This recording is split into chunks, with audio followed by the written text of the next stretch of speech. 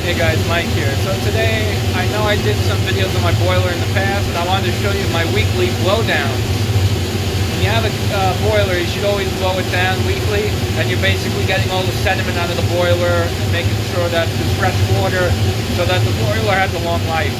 So I'm going to show you how I do that. Okay.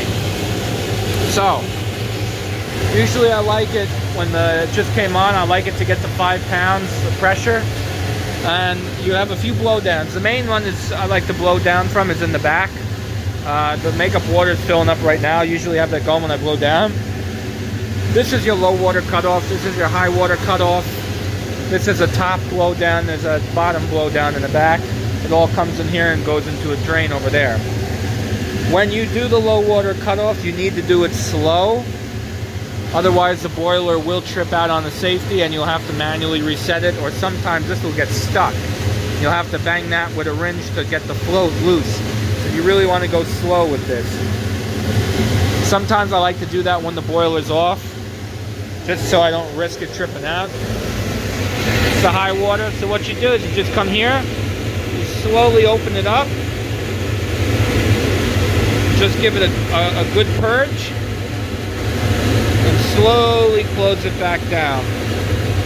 All right, that's gonna get all the sediment out of here and all that stuff. So it's hot out. It looks like you didn't need to stay on long to make up the pressure. So I'm gonna do the low water cutoff again. I'm gonna go slowly. I like it when there's some pressure in there. Okay, I'm gonna open up, all right? I'm gonna slowly close them so I don't get that thing stuck. Okay, he's good. Open this one. Like to do a few quick uh, quick bursts. Sight glass is good. Pressure, I got five pounds. I like to do it when there's pressure in the boiler. The makeup water is good. Okay, see, got some water spillage out here.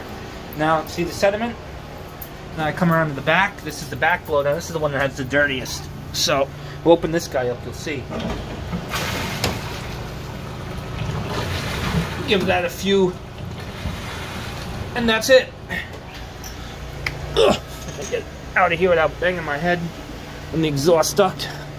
Alright guys, that's how you do your blowdowns. And you do that once a week on your boiler. Always do that.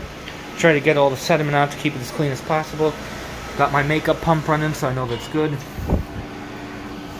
Then in our tank, yeah, we're okay. It'll fill up again to this line. I like that. I like to have it right there. So that's how you do your blowdowns. Um, again, I like to do that once a week. Make sure everything's okay. Right? Pressuretrols are okay. This over here this is a drain from the hot water, so this one you don't need to really touch. This is your heating hot water, so I don't know. That's usually when we, if we have to drain the heating hot water system, this is the guy we open right there. So that's that. Uh, that's what that's for. But yeah, that's basically the boiler blow down. And uh, I thank you guys for watching. Mike out.